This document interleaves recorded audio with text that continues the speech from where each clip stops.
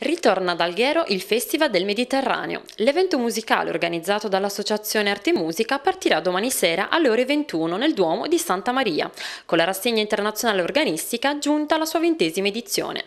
La musica dunque non si ferma. Il concerto, gestito dalla direzione artistica del maestro Antonio Mura, sotto il coordinamento artistico del maestro Ugo Spanu, si svolgerà nel pieno rispetto di tutte le norme anticontagio.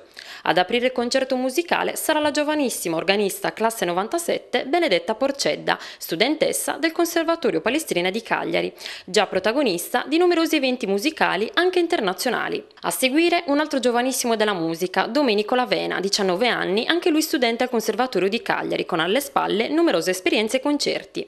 L'ingresso per il festival è gratuito. Il prossimo appuntamento è previsto per giovedì 23 luglio, sempre dalle ore 21.